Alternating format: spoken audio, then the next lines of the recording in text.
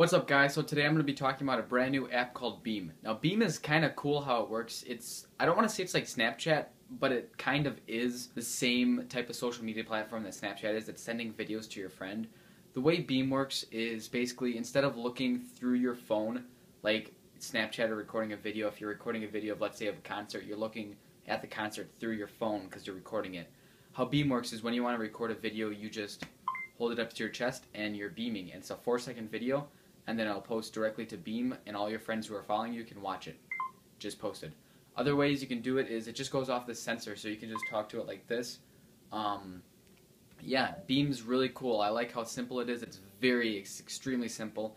Um, you basically just hold it up to your chest or whatever you hold it up to, show what you see, and then right after that it posts, and you don't have to do anything after that. It just posts straight to Beme.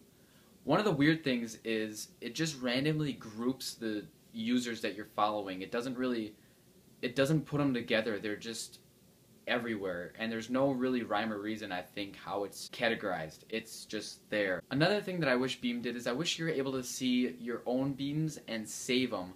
That would be really nice. I like on Snapchat where when you're recording your stories and then you can later go back and save all your stories. Another weird thing is the whole interface. I think, um, I mean, I guess it's a new app. It just came out on the 17th of July.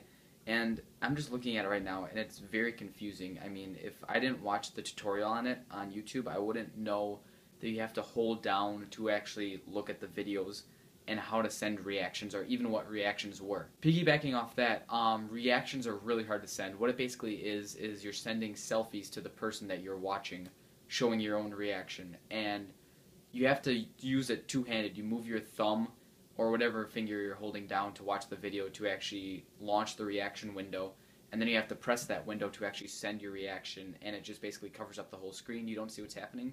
And it's really weird. One thing i really like about beme is the simplicity of it. Just being able to hold your phone up to your chest and record what you're seeing and then once it's done recording it's posted like that to all your friends who are following you. It's just going off right now okay? I'm done with that yeah, Beme is really cool. I like it a lot. It's very simple. Um, there's a lot of things that need to be changed, I think, but it's a new app. And actually, shout out to Casey Neistat. He posts a lot of vlogs and he talks about Beme in the vlogs right now.